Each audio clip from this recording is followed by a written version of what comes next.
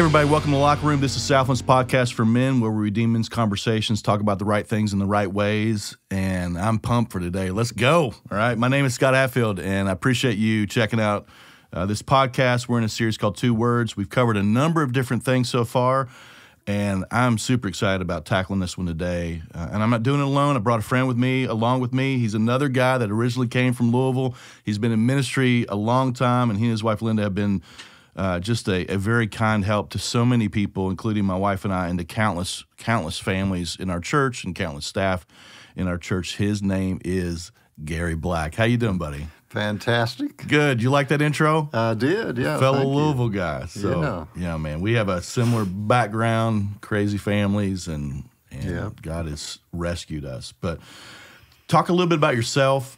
Uh, you've got you're, you're married. How long you been married? You've got a couple kids, and you've got you got grandbabies, right?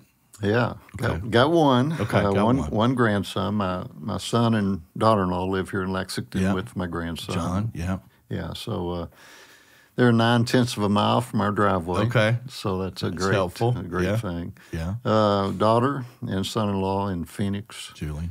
Uh, Julie. Had her in ministry when I first came here the first time. Yeah, yeah. yeah. She just turned 40. How can that be, and, buddy? How John, can that be? John's 44. Yeah.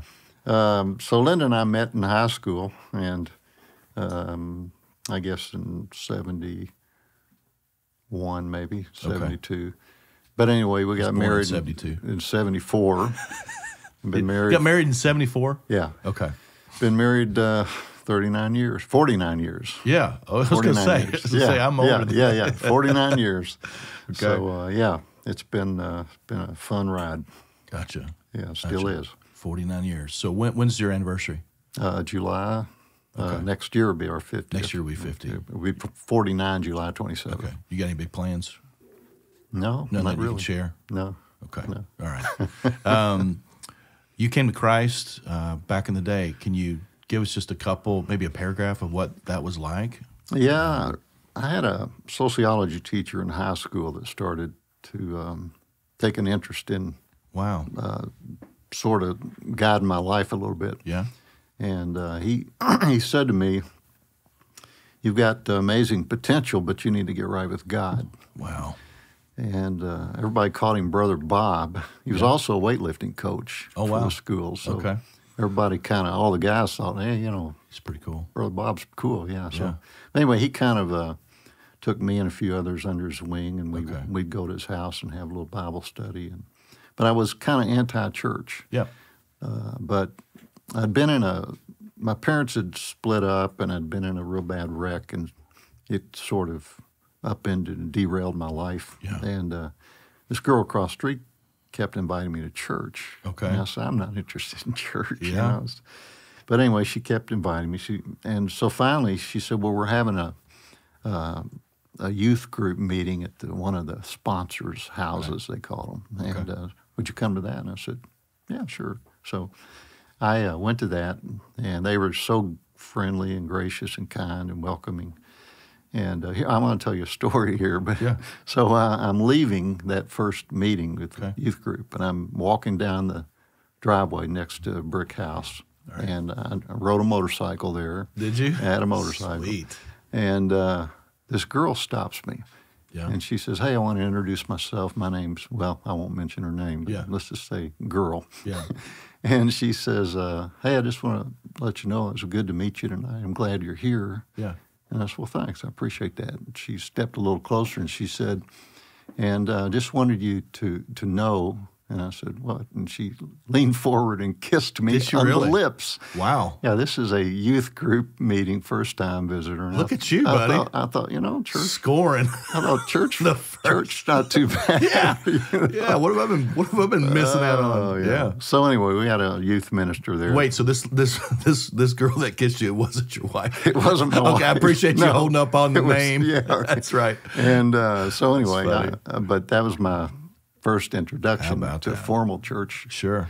But uh, anyway, I started going, and the youth Yeah. minister took me under his wing and picked me up uh, each week. Took me to McDonald's one Yeah. day a week, and uh, That's cool. and uh, so anyway, got in youth choir, Yeah. and uh, I was on the back riser, and Linda was uh, just uh diagonally in front of me, Oh. Yeah. one step down. Yeah.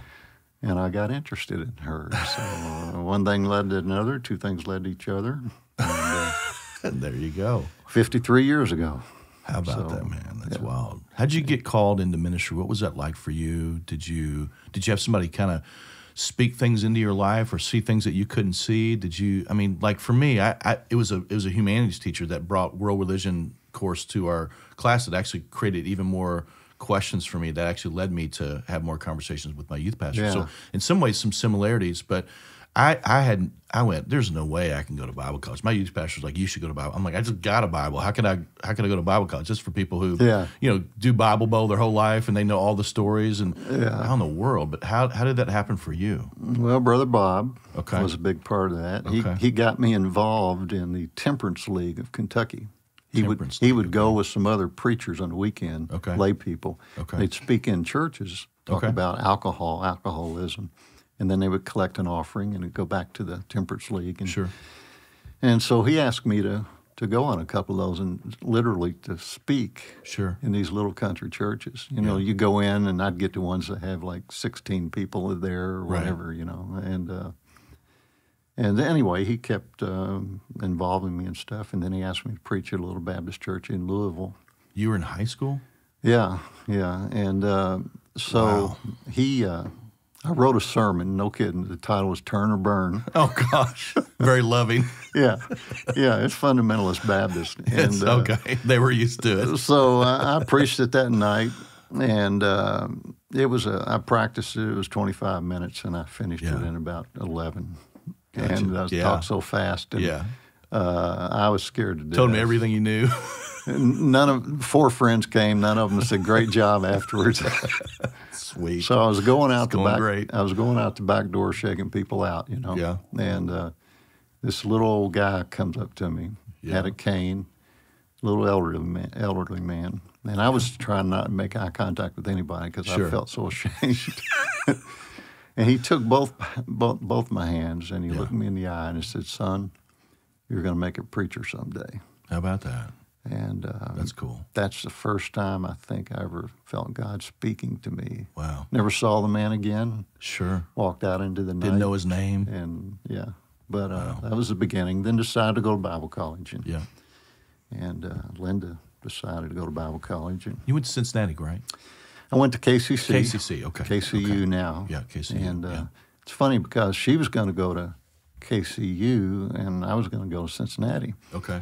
And uh, when I found out, we, we talked it over and said, well, Yeah. we'll go to the same school. Well, then her parents Weren't. Uh, tried to assure that she would go to a different school. Oh, is And so they went ahead and enrolled her, and then? I later changed where I was going to go and enrolled, and so we dated through college. took your talent somewhere else. yeah, so you said uh, a short version, but That's that's, all right. that- that's that's, good. That's good.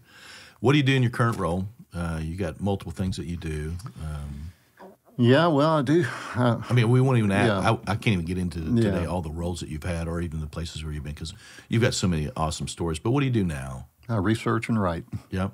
And so I, uh, you know, I work with John and Scott and other younger folks that Yeah. might need help, and then Yeah. we uh, we plan the messages. A lot of people aren't aware of this. We Yeah. plan at least six months in advance all the messages and series, Yeah. and uh, so I stay about a month ahead of them, Yep. and then I look at the message like we're going to do three weeks from now, Right. and then I'll research it, Yeah. and then I'll literally write a sermon Yeah. as if I were going to preach it. Now they don't use my sermons, Sure, never right. have, but And I've joined that teaching team now, Yeah. and it's been cool to watch you just dig out and go, "Hey, how can we help?" You know, and it's, Yeah. there's so much stuff there, which is really really cool, and gives them room. And sometimes they may use a chunk of it, they may use part of it. You know, if anything, it just may Yeah. cultivate the ground as they're thinking about what they're doing. But yeah, we just want it to be a launching pad Yep. to think about, you know, and talk about the text. And so Yeah. that's what I do. And then I do illustrations and uh, research and always reading and yeah. researching for illustrations. You give John all his jokes.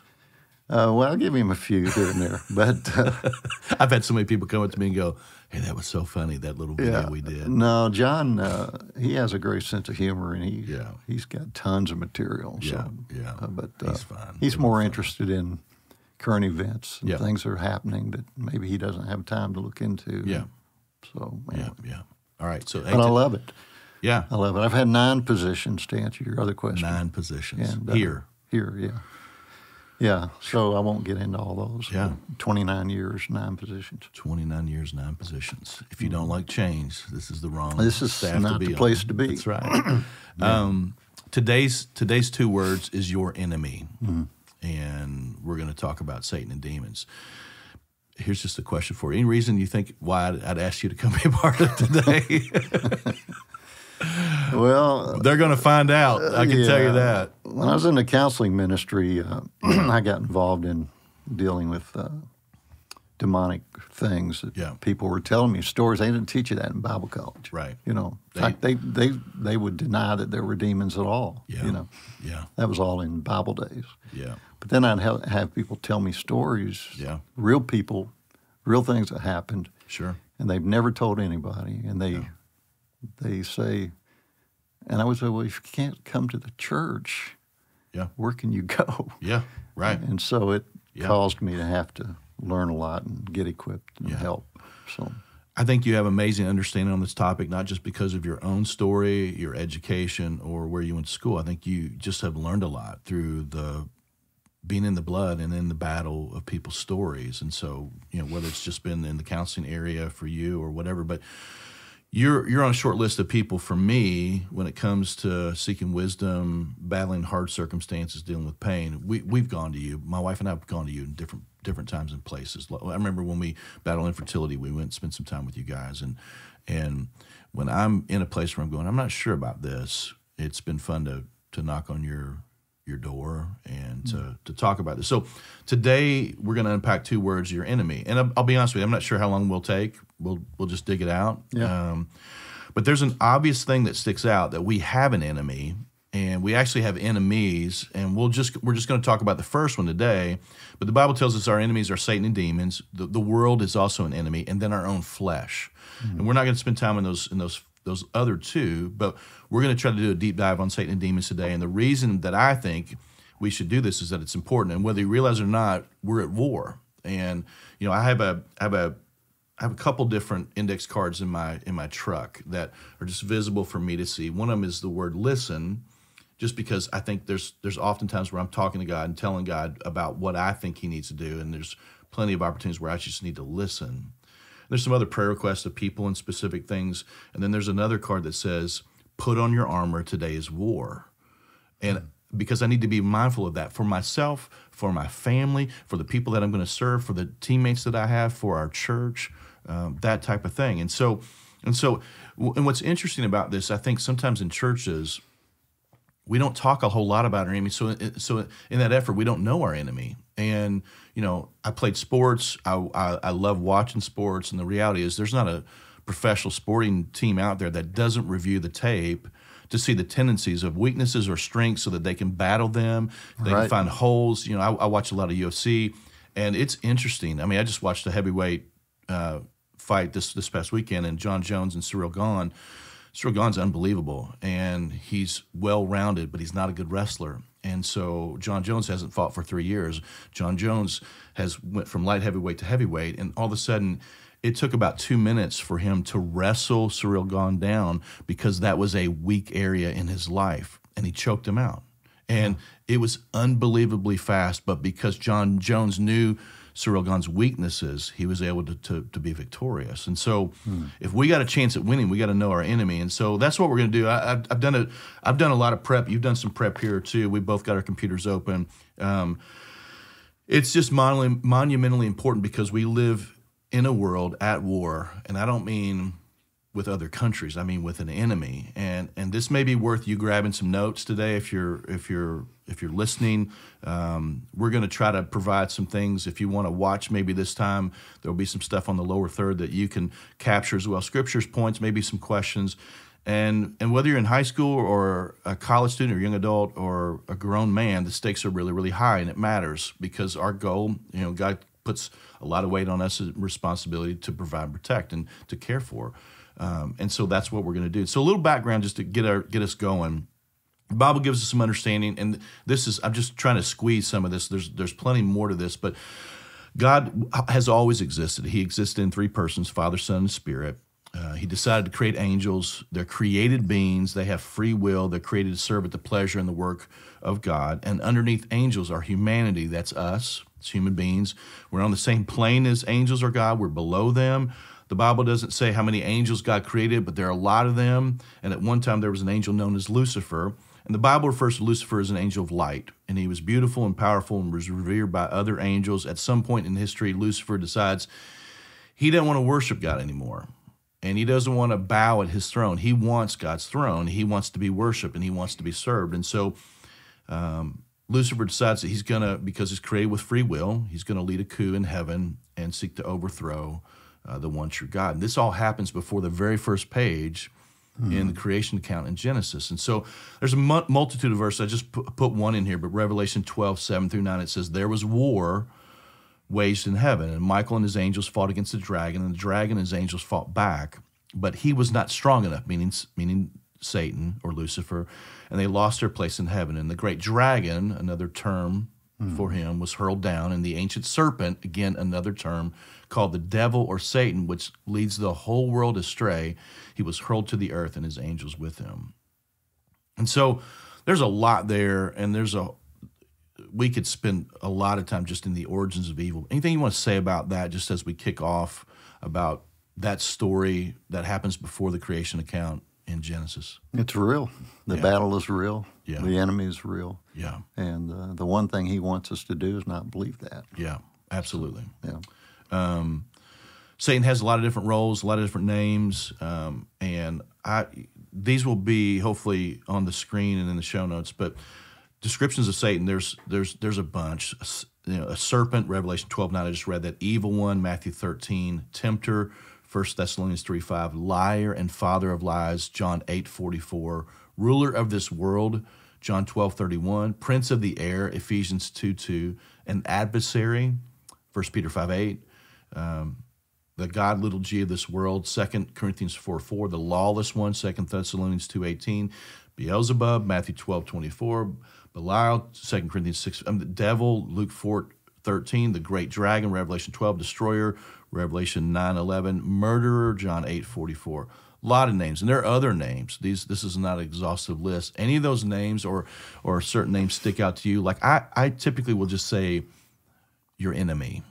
I don't like to I don't like to say his name. I just like to say he's an enemy. I need to I, Yeah. I want to be mindful of that. Is there any names uh, of him that really speak to you, or as you think about him, these are kind of the names you typically use?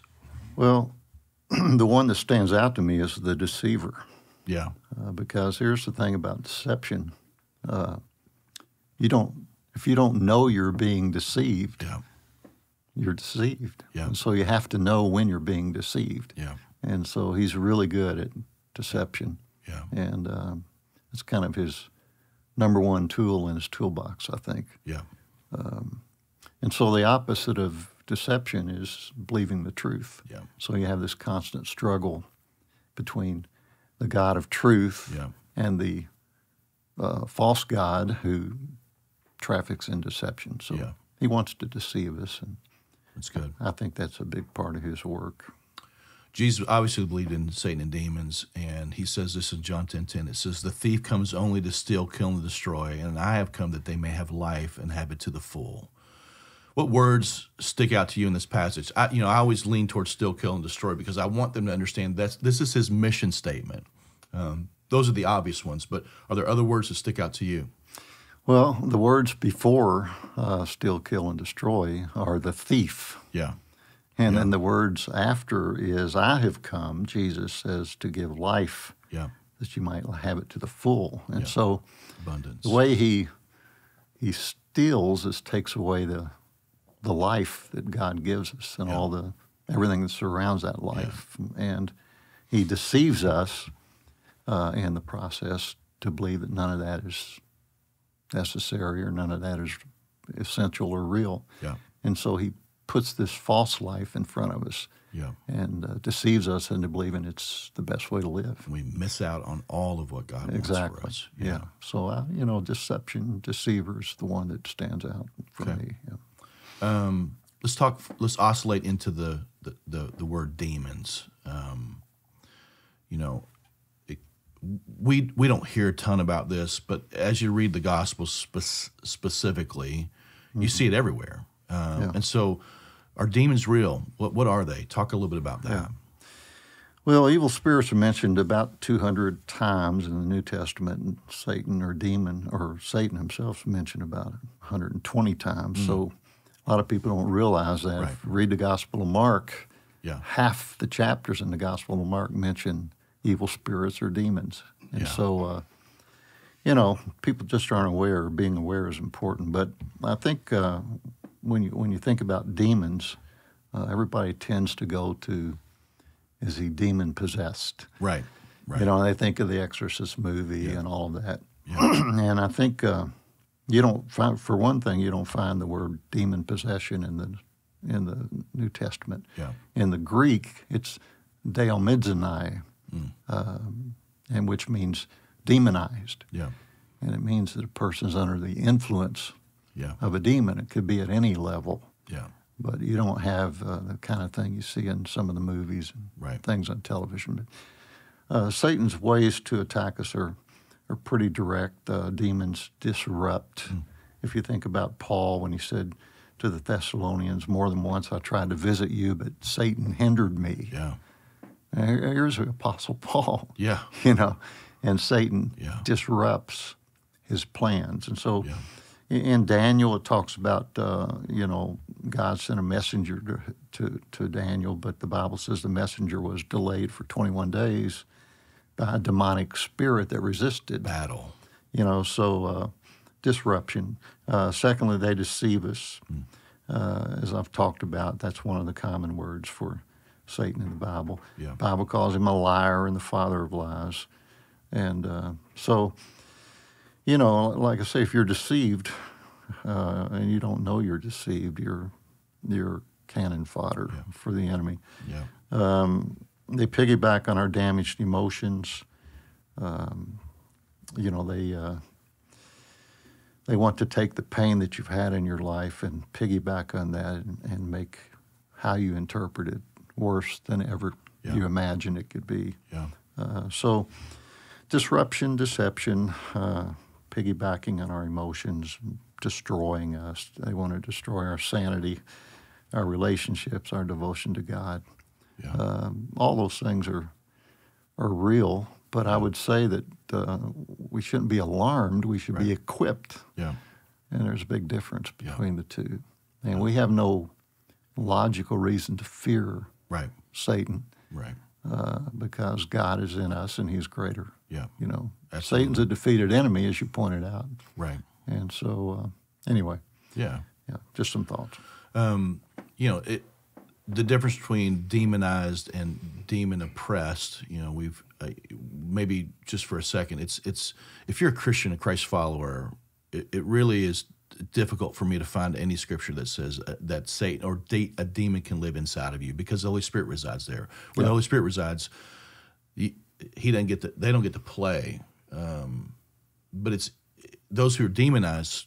That's that's more of a, a situation where maybe they're not they're not Christians, um, whether it's addiction or some some sort of habitual sin or some deep seated wound, those type of things. Anything to, to add to that?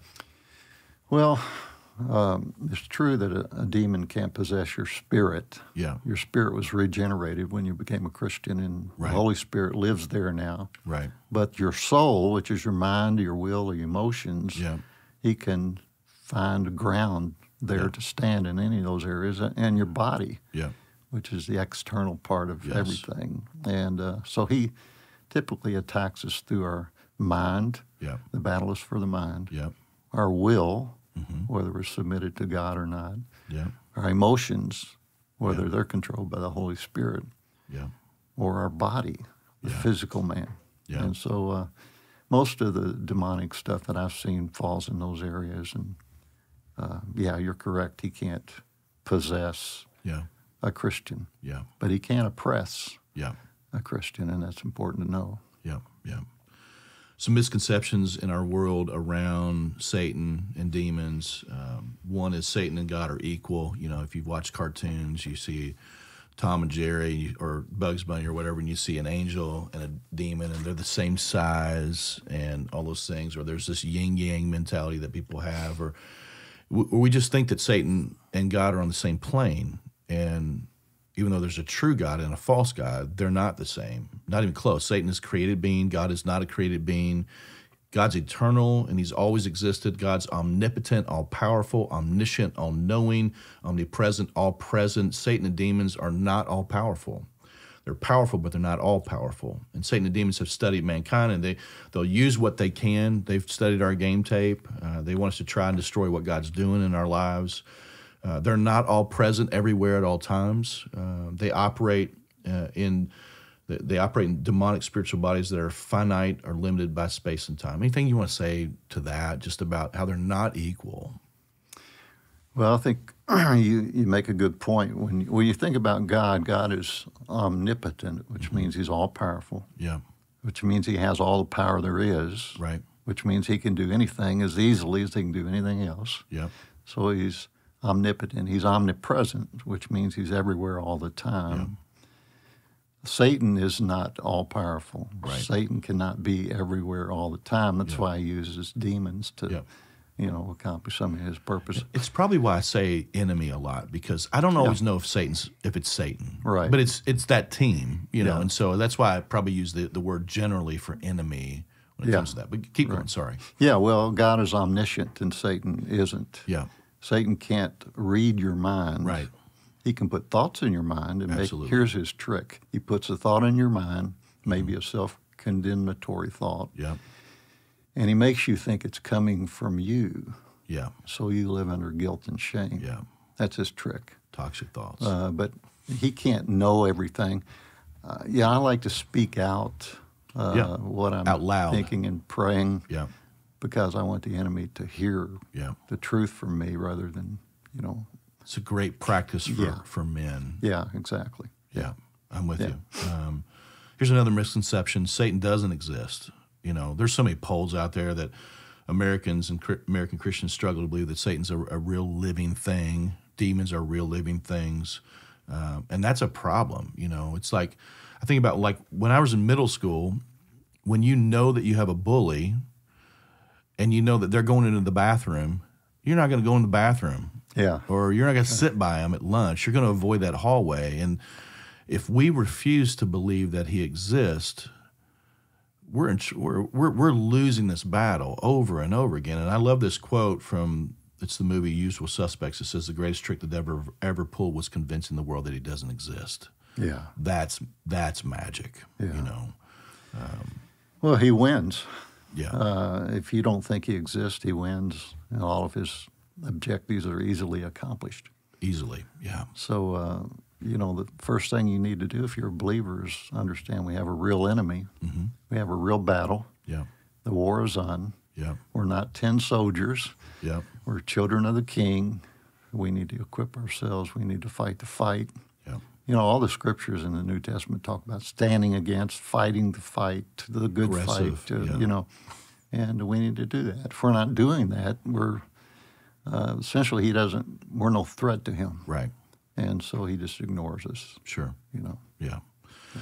This kind of spurs off the first one, the first misconception that Satan's everywhere. Um, sometimes you'll run into people, I run into people too, where they're like, everything that happens wrong in their life is Satan. You know, it's like the old sketch on uh, Dana Carvey on Saturday Night It's like, could it be Satan? You know? Right. And so, like, you know, you have car trouble. Maybe, maybe the enemy did that, or maybe you just got to. Uh, it's time to fix your car, you know, or, you know, I get migraines a lot, and you know, could could he do that? I mean, he's in. He he has some authority in the physical world, um, but I don't know that every time. I had I had probably five migraines last week, and it could just be the pressure outside. It could just be my sinuses. It could be the lack of sleep or stress that I carry. It could be lots of different things. Yeah, right. We we sometimes like to label it, or hey, you get a leak in your roof, or you sprain your ankle, or you lose your job. It's like maybe Satan had nothing to do with that. Um, maybe it's just time for you to get your car fixed, or your roof's 23 years old, man. It's time. I mean, you you know what whatever that is. You sprain your ankle. You just you just had an accident. You know, you fell, but I'm not saying that Satan can't do those things. He can, but typically his threats seem to be more, personal and more impactful. Um, yeah. And we drive imperfect cars, we live in imperfect homes, and we have imperfect bodies. But here's the thing. Here's the thing that's interesting. I think even if he doesn't create those things, he's not the initiator of those things. He will work in spite of those things or because of those things to discourage us. You know, maybe he wasn't directly involved in your car issue, but he wants to bring blanket you with discouragement, or maybe money's tight. He wants your stress level to go up, or, or, or whatever that is. He'll he'll try to create fear, or try to get you to sin, or cause you to doubt God's goodness. You know, you're trying to do the right things. God obviously doesn't love you because all these things are happening to you. When mm-hmm. actually the scriptures say, it's life is going to happen to you. We live in the world, and we're not of this world, but anything to add to that? I mean, he he may not be directly responsible for something, but he he can work indirectly through it to, to attempt to, to to steal, kill, and destroy, or to rob us of, of sure. God or create doubt. Well, I think Jesus presents a good example of that when uh, you know Peter is. Um, telling yeah. him, Lord, we'll, we'll never let this happen. We're not going to let yeah. you be crucified. Never going to, yeah, yeah. You remember, Jesus just looked at him and said, Get thee behind me, Satan. Yeah. Yeah. And so, a spiritual person who is walking under the influence of the Holy Spirit sees a lot, mm-hmm. corrects a little, yeah, and uh, overlooks a lot. And sure. uh, you know, I don't, I don't say everything's a demon. Yeah. You know, if, if you tell me you've had five migraines, I say you need to get see a, a yeah, doctor. That's right. You know, that's right. Yeah or you know you need to wait and see if it happens again next week or yeah. next month. Yeah. Uh, but you know I don't um, I don't look at everything as an attack from the enemy. Yeah. Most of the problems I have I created. Yeah, you know, right. and right. uh, my own negligence. Hey, that light was on. That engine yeah, light was on in my car for four weeks. Yeah, you know, the twenty-three-year-old roof is is not a demon. Yeah, you know, it's uh, it's a twenty-year-old roof. Yeah. 23 year old roof. So yeah, uh, most of our physical ailments are, you know, physiological, not spiritual. But yeah, I will say that uh, you know there can be some some uh, there are organic and there are spiritual causes to sure. lots of things. Yeah, and discernment is learning how to tell which is which. Yeah. You you wanted to make sure we talked about this. Why do we need to know about spiritual warfare? It's a big one. Yeah. Well, because it's happening all the time. Yeah. Because all of Scripture presents this cosmic war yeah. going on between God and Satan, and God and his angels, Satan and his angels. And, uh, you know, the book of Job says that um, Satan roams throughout all the earth looking for opportunities to destroy mm-hmm. God's children, Job chapter 1, verse 7. Uh, and so the battle is real. We need to know how to fight the battle. Yeah. You know, a soldier is not a soldier until he fights. Yeah. You know, and uh, you don't know if he's a good soldier until he knows how to fight. That's right. And so we have to know. Uh, it's pretty much that simple. Gotcha. Yeah. Taking our authority in spiritual realms. Yeah. Talk a little bit about that. Well, uh, most of the things that go on in the spiritual realms, uh, you know, the scripture talks about forces of darkness and evil, and mm-hmm. Ephesians six twelve, the rulers, authorities, spiritual forces in heavenly places. Uh, Paul says we wrestle with those thing, those things, which means he expects us to wrestle. Yeah. He says, "Be strong in the Lord and the power of His might," he expects us to be yeah. strong. Yeah. And so every day he tells us to put on all the armor. Yeah. You know, the helmet, the breastplate. Yeah. By the way, in all that list of armor, the sword of the spirit, and so on, there's no protection for the backside. Yeah. It's all advancing. Yeah. And uh, there's nothing in that list in Ephesians 6 to cover your backside. Yeah. So yeah. we're to be engaging yeah. The enemy. And so the way I look at it is where today can I enforce the power of the cross? Yeah. You know, there's one drop of the blood of Jesus can cover all of our sins. There's Yeah. power in the blood, as the song used to be. Absolutely. And so we are enjoined in partnership with the Holy Spirit to enforce the power of the cross. Yeah. And we ought to be doing that.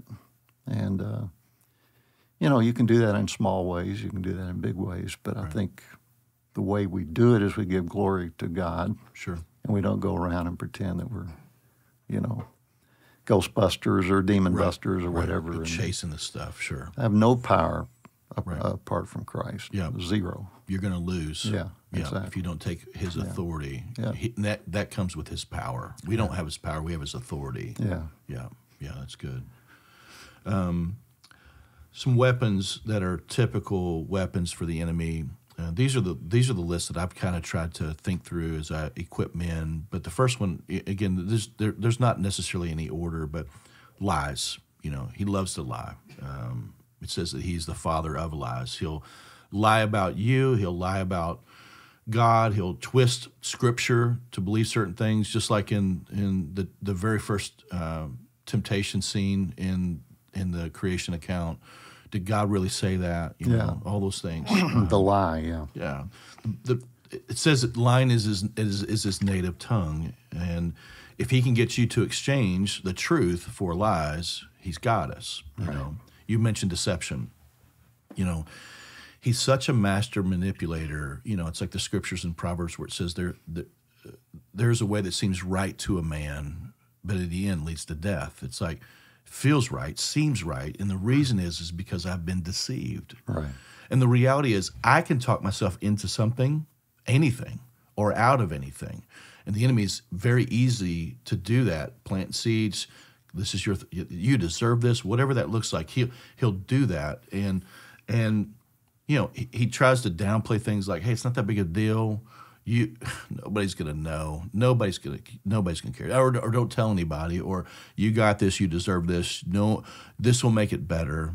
Um, it's what everybody else does. He just deceives us and big time. And then temptation. Um, he loves to attract us or entice us or lure us or seduce us with the promise of something that just like in the just like in the very first sin that happens, you know, it, it looks and feels and seems good, and then throws in lies and deception, and then we we bite and we sin. Uh, look at porn or lie to protect yourself or gossip about or prod up or you know take Yeah. another drink whatever works and the, and the reality is he he's so crafty but you know what if if the same thing will work he'll just keep doing it right he'll just keep using Yeah. it whether that's fear or anxiety or or gambling or wh- whatever the addiction or proclivity might be he knows where we've been they've watched us and they also study mankind and they see where pride takes men or they see where anger takes men and so they they know those things. And so so if they can get us to step over a line crossing lines of conviction and, and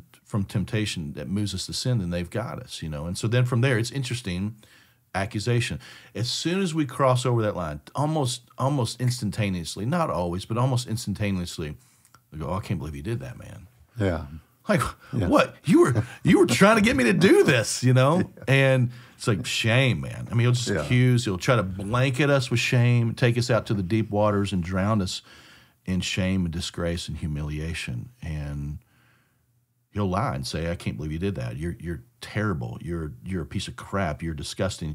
You better keep this underground. Don't talk to anybody. Don't talk to god about it. You're a horrible christian. You're garbage. God couldn't forgive you of this. I mean just just just layering us with accusation and then condemnation, which is even more that, you know, God can't forgive you. He hates you. He's not for you. And he just keeps dropping these bombs. And what happens is, is that we, because of sin or habitual sin, we end up in a place where we feel accused and then we believe the lies. Yeah. And the biggest lies that God couldn't forgive us. You Yeah. Know? And then there are plenty of people that even go, you know what, I'm, I'm, I'm, I've lived in so much shame, I'll just take my life, you know. Right. Another one's fear.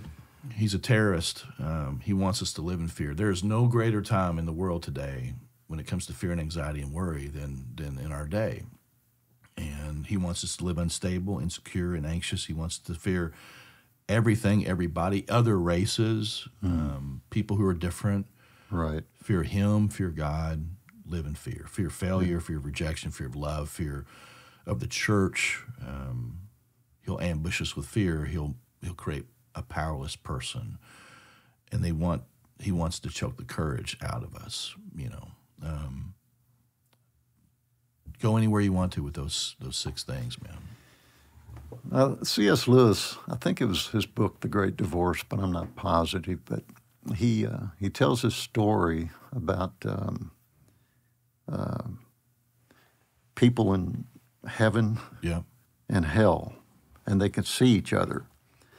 And, uh, and so some of the people from heaven uh, and, and the people in hell come up to the gate of heaven. Okay. Some of them, and somebody goes out who's who's a Christian and says, "Why don't you come in? yeah, You know, this is this is where God is." And yeah, and the guy says, Well, I've got this rat on my shoulder. And uh, we're very good friends. And, you know, I need to bring him in with me if I can, yeah, you know. And the rat is saying all the time to this guy, You know, you don't want to do this. You don't want to, right, you know, don't go in. This is all ridiculous. And, Yeah. and finally, the, the Christian it persuades him to, to Yeah. get rid of the rat yeah, and come in. yeah, And so finally, the guy takes the rat off his shoulder and throws it down in the ground yeah, to kill it. yeah, And as soon as it hits the ground, it turns into this majestic horse, this stallion. wow, And the Christian and the guy from hell get on the stallion and ride through the, the gates into heaven. And you know, the point of his story is we all have this this rat, as Yeah. it were. yeah, And if we listen to him, he'll destroy us. yeah, And so the thing we need to do is focus on the truth. Again, the battle is for the mind. yeah, And what does God say about you? yeah, And what will God do for you? And how will He guide you? And how will He serve and love and extend grace to you? How He will carry you?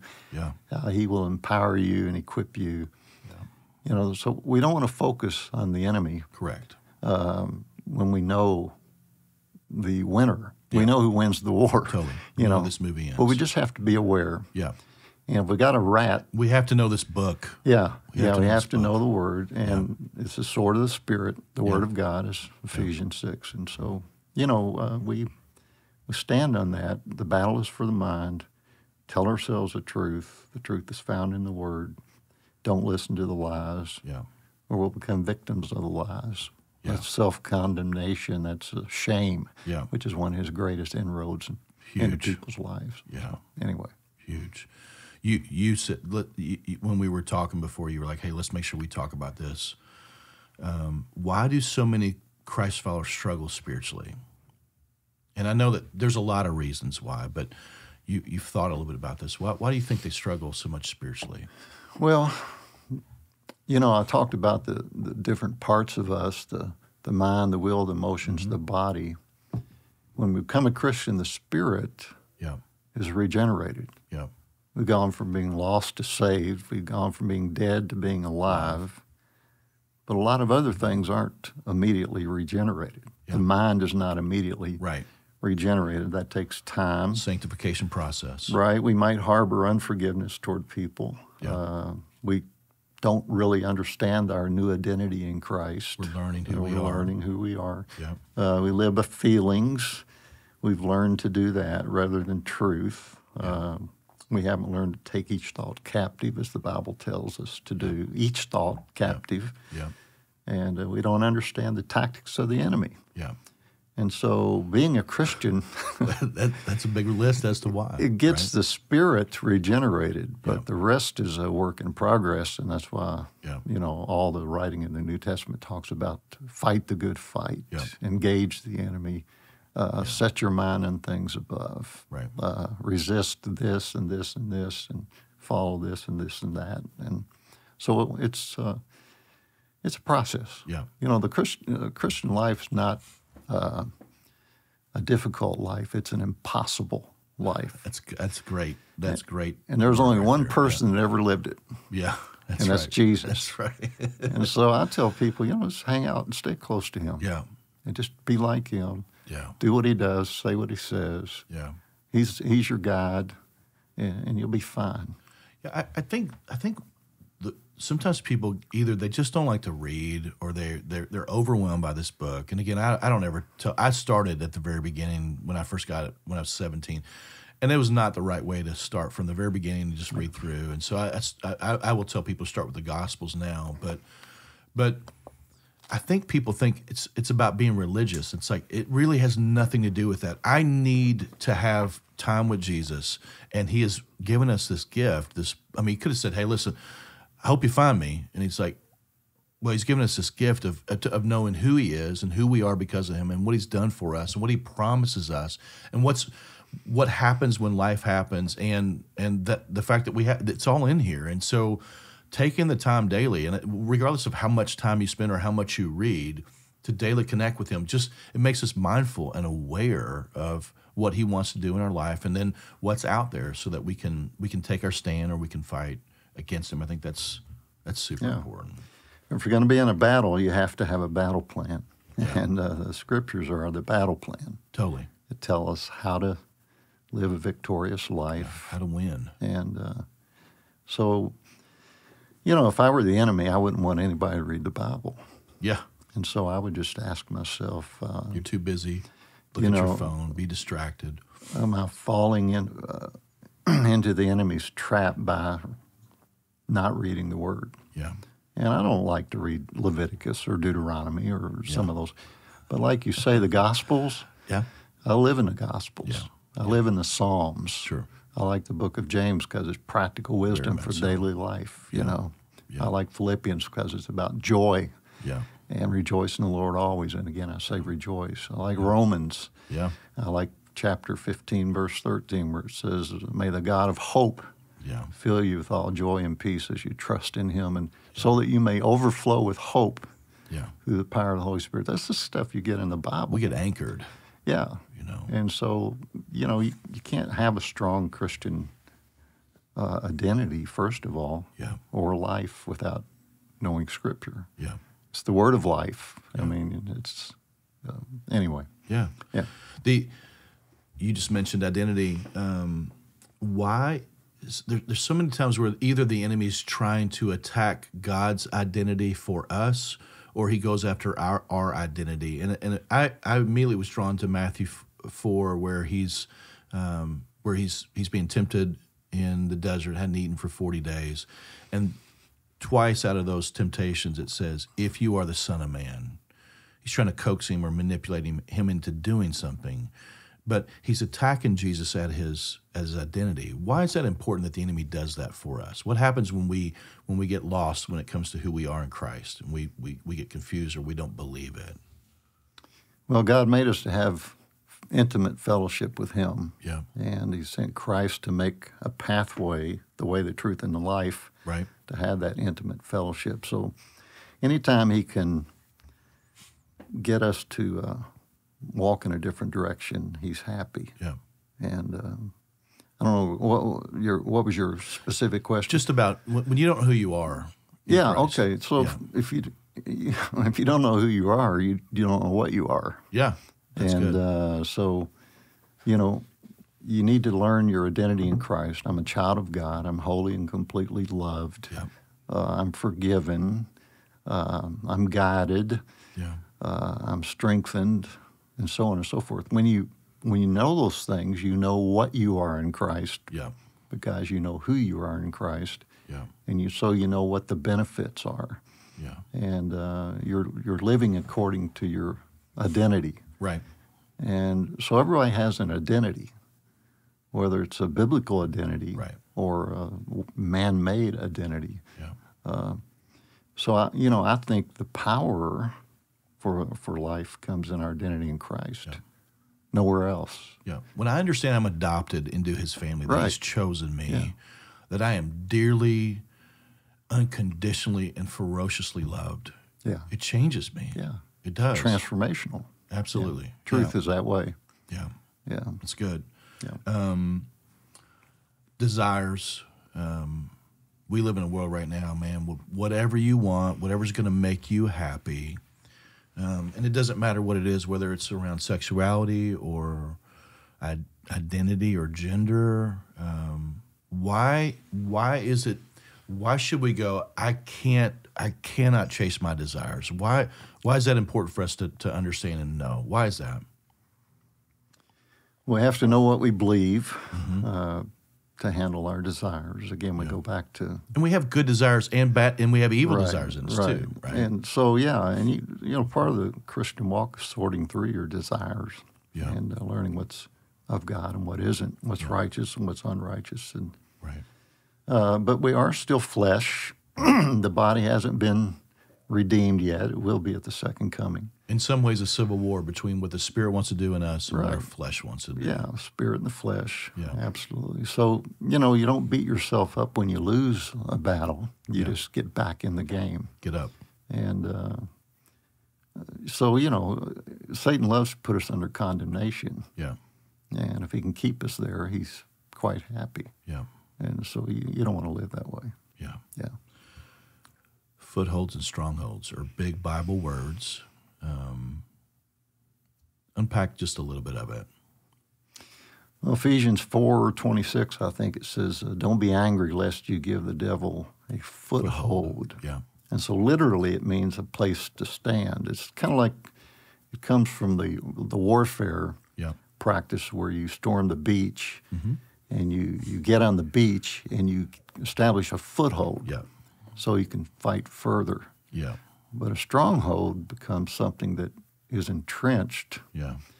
And from a negative perspective, a stronghold is anything that has a strong hold Yep. over you. Yeah. And so, uh, footholds is giving Satan a place to stand. Stronghold is giving Satan a place to live Yeah. in your life. That's good. Say that again. With strongholds and footholds. First one stand and then live. yeah, yeah. And I don't know, you know, that's just a thought. Yeah. Uh, some of the stuff I'm saying right now, Yeah. I'd have to footholds parse are it out places where bit. he can stand. Yeah, And right. strongholds are places where he can live and dominate. Yeah, a foothold is maybe uh, having a cocktail. Mm-hmm. A stronghold is becoming an alcoholic. Right. And uh, Right.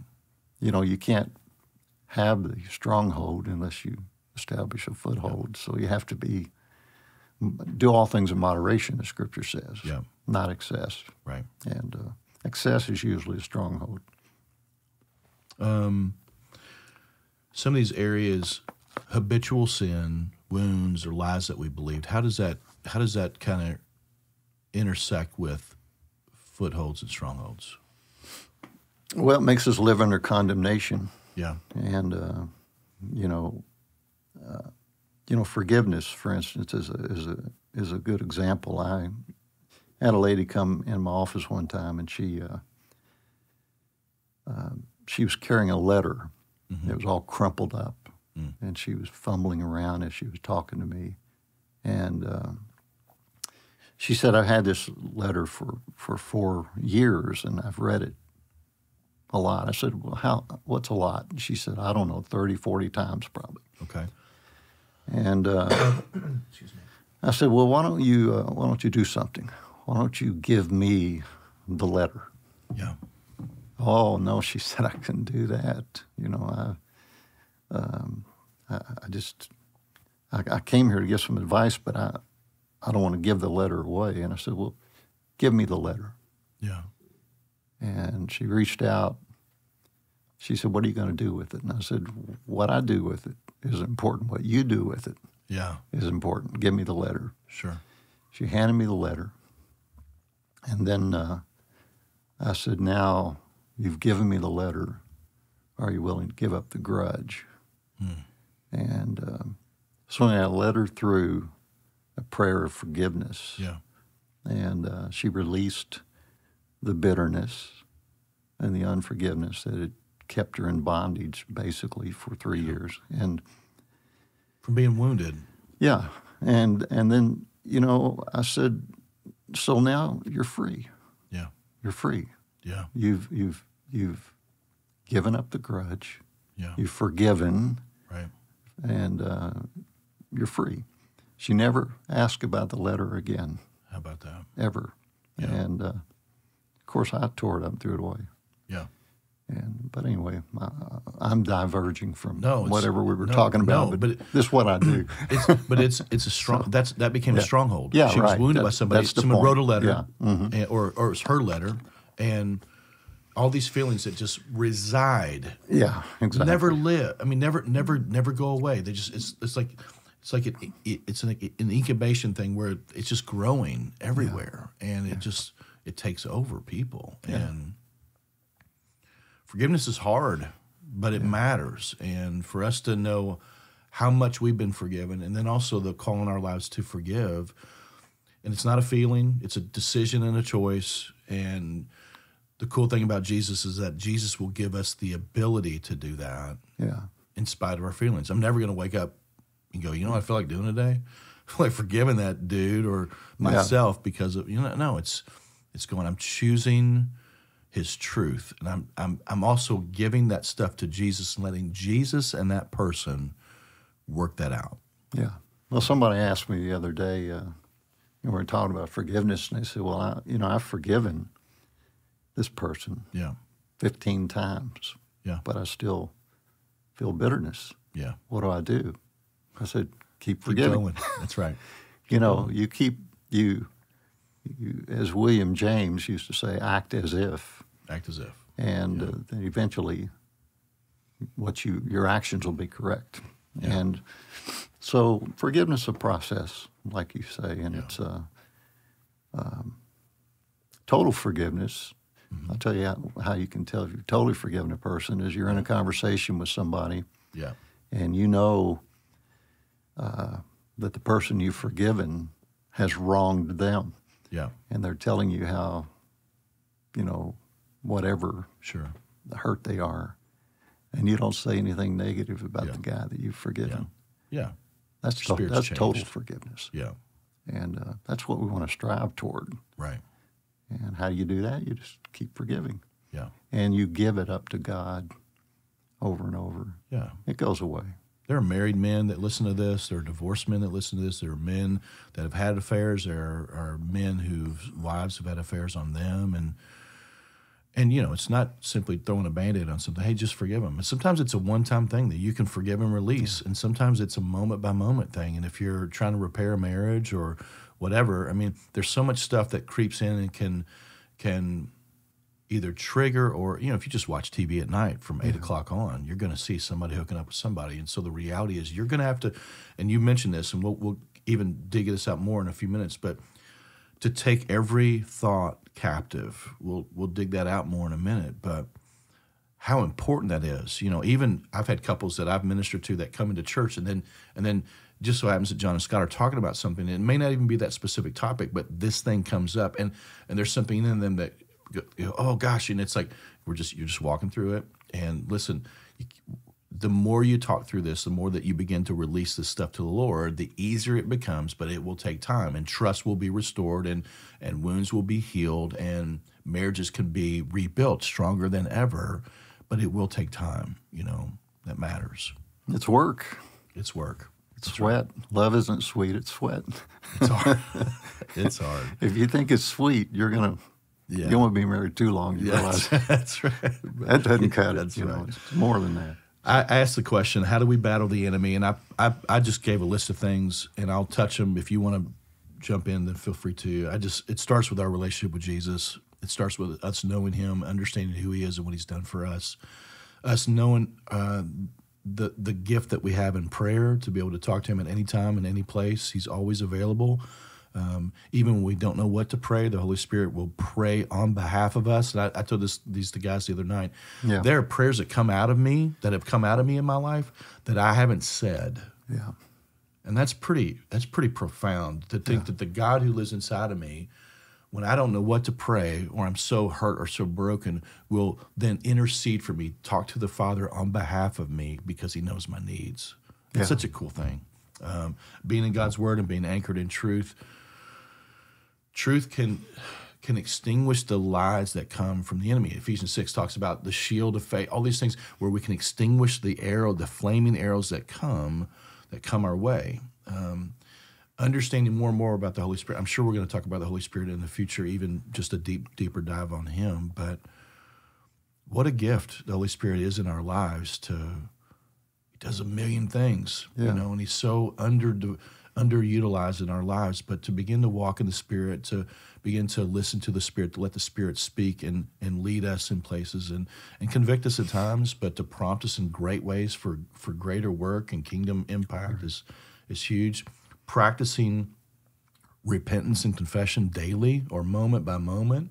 You know, sometimes we'll just kind of say these prayers at dinner time, like, "Hey, Lord, thank you for this food and forgive us of all of our sins." It's like, I mean, that's okay, but when you actually say, "Hey, Lord, I just need you to forgive me right now for the pride that I have. I just I prided up and I was I made it about me and I'm sorry." Or man, God, I was looking through my phone and I saw something and my mind went to a place and I lusted and I'm I'm sorry. I, I, I never want to.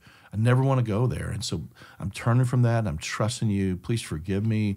Um, help me to be more mindful and to be strong to, enough to recognize these temptations so I don't go back down this road. Whatever it is, but just daily acknowledging those things moment by moment. So that way there's there's nothing that stays inside of us. So That way those those footholds, you know, we they get released and there's there's never hopefully a chance for them to actually take us to the ground with a stronghold. You know what I mean? Right. I think with prayer, um, we make the mistake of praying for people. Sometimes they'll come to us and say, I, know, this has happened, that's happened, uh, I did this, I did that. Yeah. Will you pray for me? Yeah. I love this about you. I've heard the story. Tell them. And uh, I had a guy come one time to the prayer rooms here, and he he said, uh, "You know, I, I need you to pray for me." Yeah. And uh, I said, "Well, what have you done?" He said, "Well, I'm a, you know, this that." I've Sure. And he had a long list, and I said, "Why don't you pray?" Yeah. He said, "I don't know how to pray." Yeah. And I said, "Well, I'll help you." You know, I said, "Just, you know, say, Father, um, thanks for listening to me. I know you love me." Yeah. and then just tell him what's on your heart. Yeah. And then I said, when you're done, I'll finish. I said, go ahead, pray. Yeah. And so he started in, God, I'm a blankety blank, blank, blank, blank. God, a blankety blank. Yeah. And the, the first three minutes was just, you know, profanity. And Sure. uh, but he was being honest with God, you know, and God's uh, not freaking out. and he, he prayed for like I don't know five minutes, seven minutes. It was Never- it was a long time. Yeah. And by the time he finished, he was saying, "I know you love me. I love you. Isn't that crazy? I don't know how." Now, what if I just prayed for him? I know, man. What an opportunity for that dude to know that, you know what, I can take what I have Yeah. to my father and I can bring all that I am and the way that I feel, and he's not going to Yeah. turn from me. Yeah, it's one of the best prayers I ever heard. Isn't that awesome? Yeah. So we we Christians make the mistake of praying for each other too much, yeah. and you only understand what I mean by that in that context. Absolutely. and you joined with him in prayer, but, Um, yeah, but you, you initiated him. Yeah. I think so so often we're worried about how it's going to sound. It's like just pray what you got. You and I are just talking. Yeah. It's not been perfect. We're not perfect, but Right. who cares? We have a friendship and a relationship, and we care for each other. And and I don't think you're much worried about how eloquent I am. Yeah. You just care about me, you know. And that's the same with God. I think that's super important. Absolutely. We talked about accountability last week for the Locker Room podcast. If you didn't listen to that, you should check it out. But we need that. We we've got to have people in our lives that are are, are we've given permission to to share in our victories and also to help us in our struggles so that we keep fighting the right, fights and we stay on the right path and, and we're fighting for the right things. And we talk about groups around here.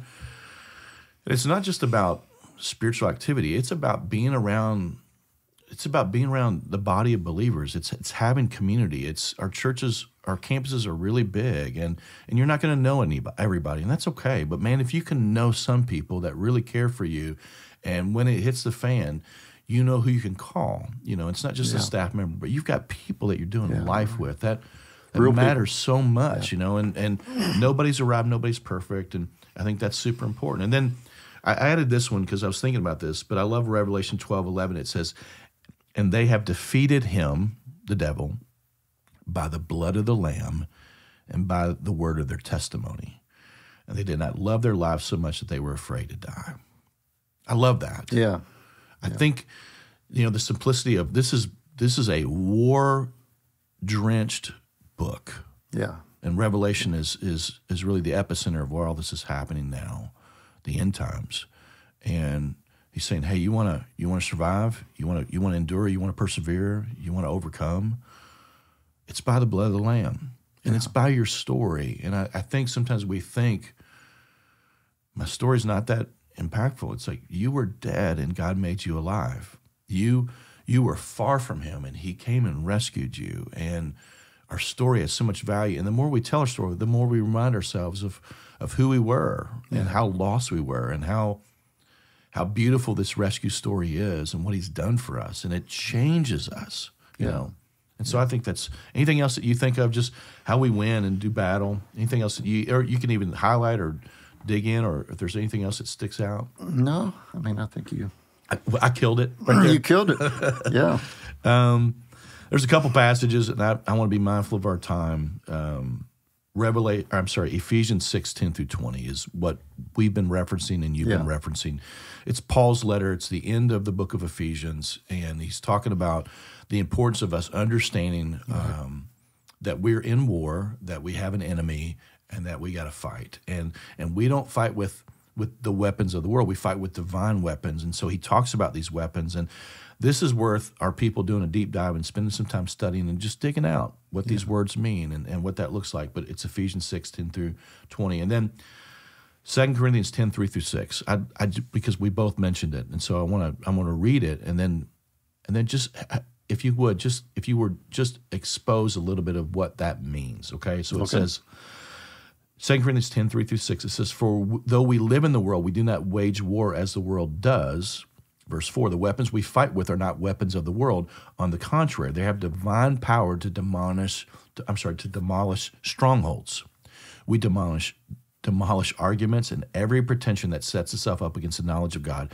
and we take captive every thought to make it obedient to Christ. And we will be ready to punish every act of disobedience once your obedience is complete.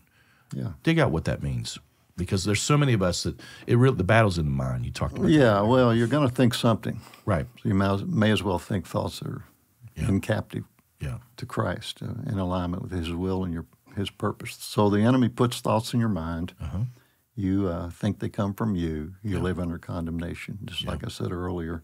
So to take each thought captive is to say, is this coming from the enemy? Yeah. Is it coming from the world? Is it coming from me? Yeah. Or is it coming from God? Yeah. And the, uh, you know, if it's coming from God, you dig into it. Yeah. You Right. you meditate on it. Right. But if it's coming from the world, you reject it. Right. And uh, taking it captive is kicking it out. Yeah. And uh, Yeah. You don't get to live here. yeah, exactly. And so that's what we ought to be doing. Yeah. You know. Talk about real quick because sometimes there's a just a, a nuance here in this question. The difference between conviction and condemnation. So, like when we're battling, we've we've fallen, and Yeah. there's some thoughts about how we feel, guilt, shame, whatever that is. Can can you help us discern between conviction and condemnation? Yeah. Well, shame uh, is saying that shame is is saying I did that. Yeah. But when it becomes a negative or debilitating, it's saying I am that. I am that. I'm an alcoholic. I'm a porn addict. yeah. I'm a loser. Yeah. So admission is not weakness; it's the Yeah. pathway to strength. Yeah. Then if you if you don't deal with that, you you you begin to identify yourself with that, Yeah. and then you live under condemnation, and that's not where God wants us to live. Right. Right. Shame is uh, tremendously destructive. I, I lived there for a number of years. Yeah. Me too. terrible place to live. Yeah. So. Yeah. One more passage, 1 John 4 4. There's a ton of passages, but 1 John 4 4 says, Yes, you, dear, dear children, are from God and have overcome them because the one who is in you is greater than the one that's in the world. And I think, again, we've spent a lot of time focused on Satan and demons today, just for the, the understanding of what it is and what's going on and, and what happens in our day to day living and and knowing that at the end of the story he's going to win. But but even in the midst of our right now, we fight from victory, not for victory. We know how this ends, and so for us to recognize that the one who's in you is greater than the one that's in the world. That's super important uh, to to to be this reminder for us every day as we Yeah. as we do this.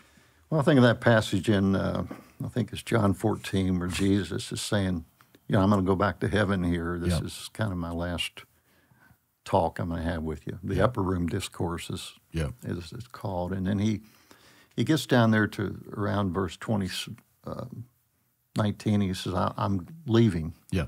now, but after I'm gone, you will know this, he says. You will know something. Yeah. And he says, I'm in the Father, Yeah. the Father is in me, Yeah. and I am in you. Yeah. And so we need to know that. Yeah.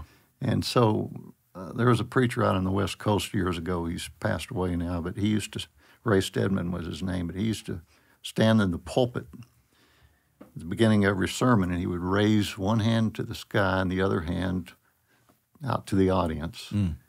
And before he would preach, he would say, Everything coming from him, nothing coming from me. And he called that, Charles Solomon and others who have written about it called that the exchanged life. And so Paul talked about it in Galatians 2:20. It's no longer I who live, Yeah. Christ. but Christ who lives in me. And the life I now live in the flesh, I live by faith Yeah. in the Son of God. And so we need to live Yeah. The exchange life. That's why I say the Christian life's impossible, Yeah. but an exchange life is possible. Absolutely. And it's very rewarding. We need to know that. That's good. You uh you you'd given me a couple of examples or stories, and if you want to grab a couple of them, Well, uh, I think it just helps drive some of the points that we've been talking about home. Yeah, w- one that uh, you know comes to mind was a young lady from a seminary here nearby, and uh, I was meeting with her, and she was not happy and had a lot of issues, but uh, we eventually got around to forgiveness. You always do, Yeah, you know, and it's a big one. so I started talking to her about who do you need to forgive. Well, she mentioned five girls Okay. that she had known when she was in college that sort of ganged up on her, as it were, with the intent of destroying her emotionally and Yeah. her self-esteem and so on and so forth. And uh, and so I said, well, you you know you need to forgive them, and I I can help, and uh, I'll lead you through a prayer. And she said, no, I'm not going to do that. I don't want to do that. And uh, I said, well, uh, let me ask you this: is is what you've been doing Yeah, for the past few years working for you? yeah, And she said, No, not really. And I said, well, Why don't you do what works? yeah, Why don't you do what works? Yeah. And she said, So you're saying I have to forgive? I said, It's, it's for your benefit, yeah, not theirs. They, Yeah. they don't even care. yeah. They thought any more about that. You make the decision. done. I'm not going to do it, she said. Yeah, And it hmm. pretty much ended our our time together. But I've prayed for her and still pray for her Yeah, because she had too much potential yeah, to ruin her life in the yeah, cesspool of bitterness. yeah. And um, I just wanted her to be free. Right. Yeah, it's hard work, Yeah. but you got to do it. For some reason, we think if we hold on to it, it, it, it protects us, and it's like Yeah. it doesn't. Yeah, well, it's the enemy. Keeps The enemy piggybacks on our pain, Right. distorts our thinking, makes us believe a lie. Yeah, He's got us right, right where he wants us. yeah.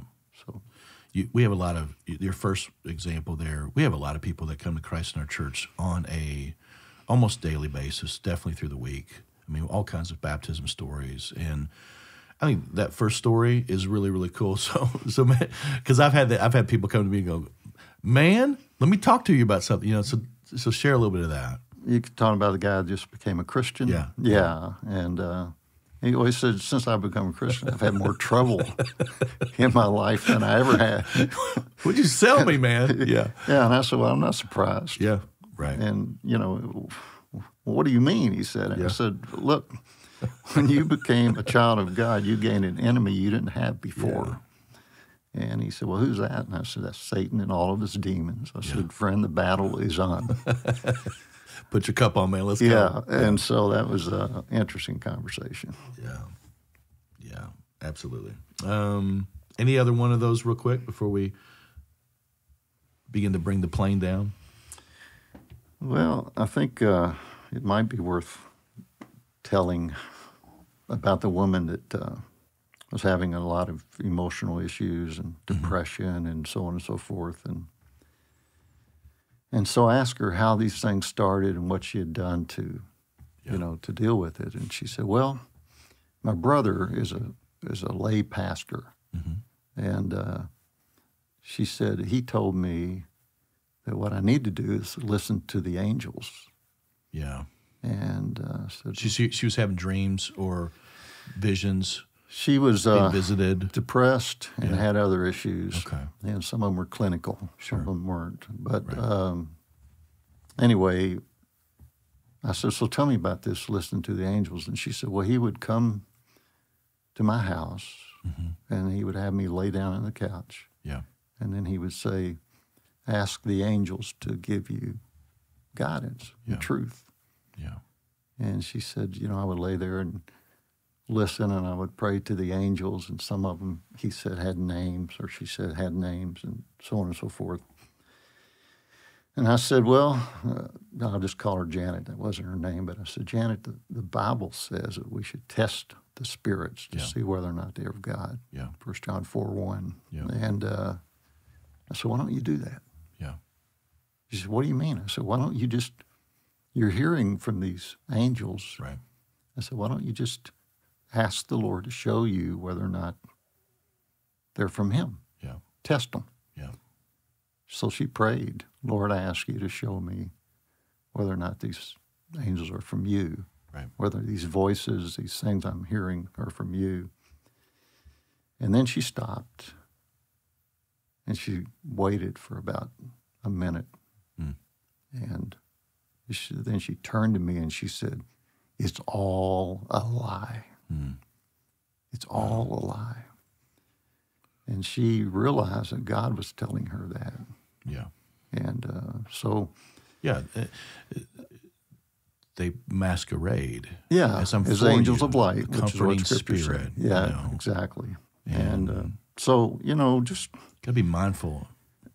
you know, the the solution is in your heart and between your ears. Yeah. You know, a saved spirit and a a uh, spirit led mind, Mhm. and that's where the battle is won. Yeah. You know, That's good. you are what you believe, Right. and so believe the truth. Right. That's your only chance. Yeah. We, we, you and I have talked about this some, just about, and, and we're real close to wrapping up. But taking our authority in Christ, uh, in the name of Jesus, get behind me, Satan. The, praying the in the power of the cross, the power of and, and the blood of Jesus, flee from me. Those type of things. Talk about why and and why again audibly. Um, Well, the enemy can hear it, but Yeah. he can't read your mind. yeah. Again, he can put thoughts in your mind, but he Yeah. can't read your mind. And so I like to pray out loud. Yeah. And I like to say, uh, Jesus rebuke you, Yeah. Not I rebuke you. Yeah. May the Lord rebuke you, Yeah. and which is scriptural. And uh, I like to say, uh, you know, in the name of Jesus, we enforce the power of the cross in this situation. Yeah. And again, it's inviting God into the room Yeah. and praying biblical, truthful prayers. And it's you don't have to raise your voice. Right. You don't have to be angry. You don't have to make threats to the enemy. Right. you, you claim your authority in Christ. It's kind of like this: if you put a rookie cop Uh-huh. in an intersection Yeah. with busy traffic and give him a whistle, Yeah. he blows his whistle and puts his hand up. Nobody stops. Yeah. Nobody pays attention to him. But you put a seasoned Yeah. officer Yeah. in the intersection who's been doing this for 20 years. Yeah. He blows his whistle, he puts his hand up, Yeah. Car stops. Yeah. Car stops. Car stops. Why? He knows his authority. Yeah. When you know your authority, Yeah. you have authority. Yeah. And uh, a lot of people don't know their authority in Christ. That's good. And Um, one question, just a practical question for the dads that are listening. Um, they have kids, whether they're in high school or, or they're in middle school or, or, or even kids. You know, how do you talk about this without freaking kids out? You know, I, I have conversation. I've just tried to normalize it, at least in my car rides with my girls or in conversations and things like that. But it, are there some things that you go, hey, here's a couple key simple tools just in because it's not just for us, it's for the people that we care about. Yeah. And so just, just keep the conversation light in the Yeah. sense of I want you to sit down here. I want to tell you I want to tell you what Revelation 22 really says. You know, like, you don't do that with a seven year old. yeah. You know, when they're 10, 11, you might read the Chronicles of Narnia Sure. with them or to them. And Yeah. They learn who Aslan is and Yeah, Lion. And, Lion. and But uh, there, there are a lot of different ways. I try to, uh, you know, uh, a child said to me the other day recently that how, how they put it. Um, oh, they believe that Satan is more powerful than God. That's what they said. Okay. And Okay. so I said, well, you know? I know God Yeah. and I know Satan, Yeah. and there's no comparison. Yeah. That's I good. said, I can't even tell you how much more powerful God is. Yeah. That's all I said. Yeah. And I didn't, couldn't do much more, and didn't need to do much more than that. Right. But um, a guy came to me recently and talked about. Uh, he said, "Well, I don't believe Jesus is real. I don't believe he ever existed." Okay. And this is a well-educated, you know, um, guy. And um, I said, "Well, give me a hundred reasons why you don't believe that." And he just looked at me. I love like- your responses. I said, "I can give you a hundred reasons why I believe he did live. Yeah. I can give you ten right off the top of my head." Yeah. You know. He said, "Well, wh- what are the ten? I said, "No, I want to hear. Yeah. I want to understand Yeah. why you're convinced What you got? that he doesn't exist." Yeah. He didn't really give me an answer, and so you know, conversation moved on to something else. Yeah. But um, so anyway, Hmm. I, I digress again. But It's all right. so concluding, you uh, you you had a couple things in here that I think it's I think it's helpful for you to share just about spiritual warfare and and all of that. So yeah. Well, when the kingdom of God moves forward, uh-huh. the kingdom of Satan pushes back. yeah, I have to understand that. And that's what Jesus was talking about when he said the gates of hell will not prevail against the church. The church is doing the attacking. yeah, The gates of hell are trying to withstand the attack. Yeah, So we need to understand that. yeah, And the battle is ours, not the enemy's. And uh, we are the church. And we're not orphans, we're children of the king. Last I checked, he's still undefeated. that's right. And that means that we have all the edge we need. And uh, we need to be joyful, Yeah. stand our ground. The battle is real, the stakes are high. We should be sure Yeah, to win. That's good. And we will. Yeah. We have to remember that we get to see the end of the story. It's like all these people in the Old Testament that just on Yeah. faith, you know, and it's like we we have a book that helps us understand what's gone before us, where the times that we're in now, kind of the Acts 29 period, and then we see it all. Yeah. You know, and and so because of that, again, all this conversations today is not to, trying to freak people out. It's it's not to make people cower and you know We have no reason to fear the enemy. we don't. If if we don't get that point across today, we haven't gotten anything. But you should know your enemy. Yeah. And you should know what his purpose his his purposes and objectives are. And we have so many tools and weapons, again, not in our own strength, but in his strength that we can overcome. Yeah. That's super critical for us. You know, we we we will win because we are fighting from victory. It's already been done. The Yeah. cross was enough. The empty tomb was enough. And he is seated at the right hand. And that matters for us. And so we don't have to wonder or question or doubt anymore. We can be anchored in who he says that he is and what he's going to promise to do. He's Now, let me piggyback on that last thought. Yeah. We are seated with him, Ephesians chapter 2, verse 6. yeah, We are seated with him. yeah.